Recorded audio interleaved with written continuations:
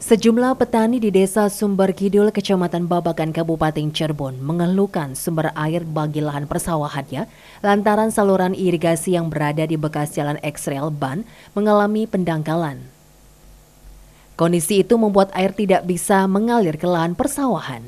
Menanggapi hal itu, Ku Sumber Kidul Wargono mengatakan pihaknya berusaha memfasilitasi kesulitan para petani di wilayah utara desa ada sekitar 40 hektar lahan persawahan yang kesulitan mendapat aliran air. Sehingga melalui dana desa, Pemdes melakukan perbaikan jembatan sekaligus saluran irigasi.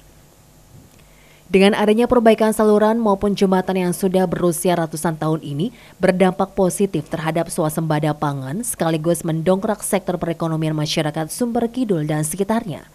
Saluran tersebut menjadi satu-satunya saluran yang ada di kawasan tersebut – sehingga adanya perbaikan ini diharapkan dapat memaksimalkan semua potensi terlebih di sektor pertanian.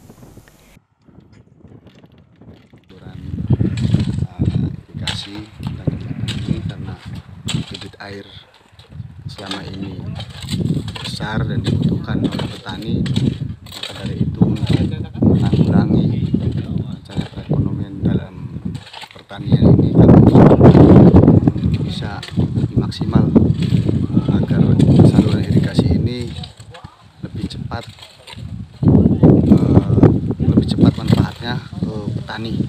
Sebelumnya terputus atau gimana ini?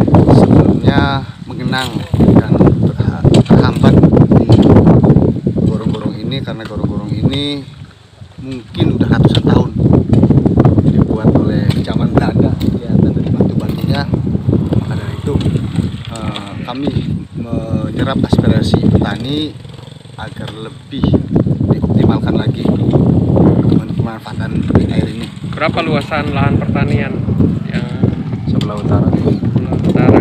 Untuk sebelah utara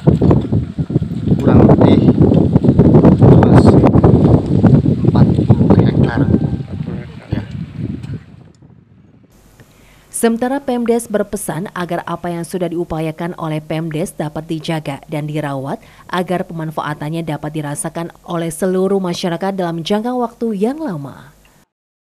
Wahyu Bisana, RCTV, Cirebon.